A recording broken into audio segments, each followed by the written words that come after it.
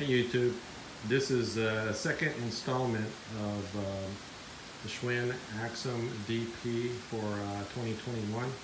This is the, the second video. Um, I have made some modifications to the bike.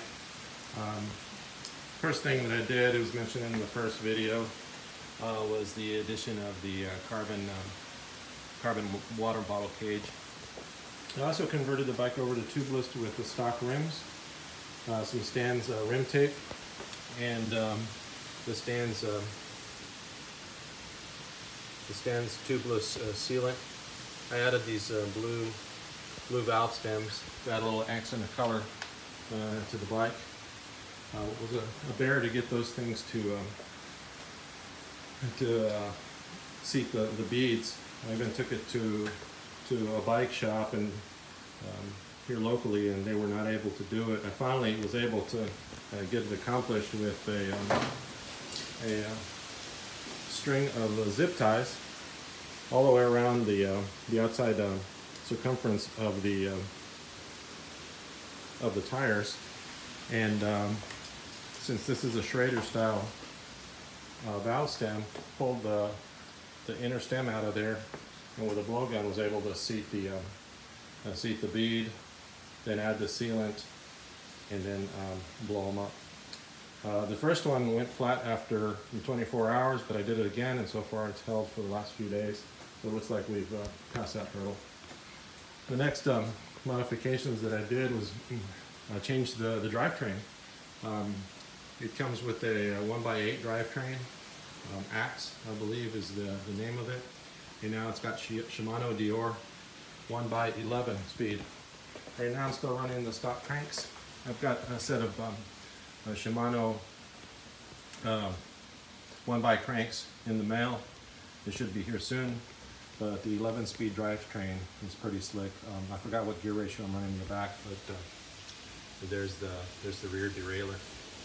Um, it has the um, the what you call it clutch uh, lever here, and uh, you can put it back where it was at. So far it's shifting okay, um, but um, I'm really pleased with, uh, with the group set so far.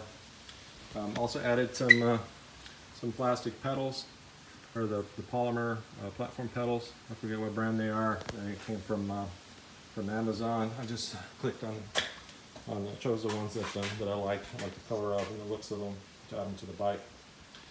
Um, also added these um, these grips. They're Marquis, Marquet, brand. Uh, they're probably about 12 bucks. Weren't expensive. I'm not going to put a link down below, but uh, so far they they they suit me just fine. Then uh, finally I added a, a, blue stem. This one is called uh, let's see, Pro Han San.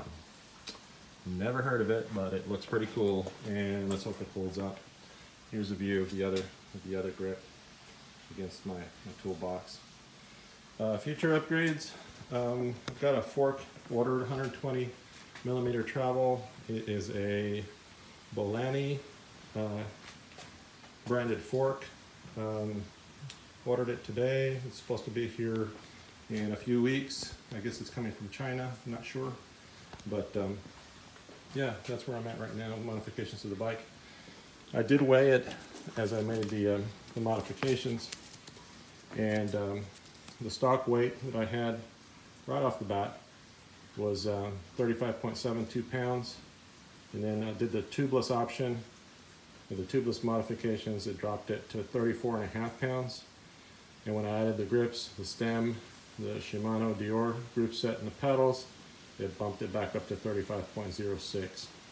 Uh, once I get that fork on, I imagine that's, that number is going to drop drastically uh, because this uh, front fork is a pig. So uh, yeah, we'll see what happens. So anyway, I just wanted to share the upgrade so far. Um, it rides really good. Um, it rides, uh, it's very responsive and, and rolls fast with, uh, with the tubeless option. So we'll see how it does with the new cranks that are coming. The, um, the new forks also Oh, and by the way, I'm also getting the um, uh, some um, hydraulic brakes that are um, going to be coming later this week. But anyway, stay tuned, and I'll give you an update whenever I get those other parts put on. Thanks.